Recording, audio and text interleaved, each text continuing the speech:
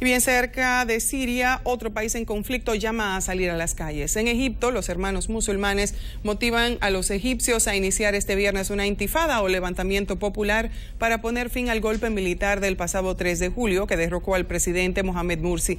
De su lado, el Ministerio de Interior aseguró que sus fuerzas están totalmente preparadas para enfrentar cualquier conato de violencia que se registre durante las manifestaciones convocadas por los islamitas.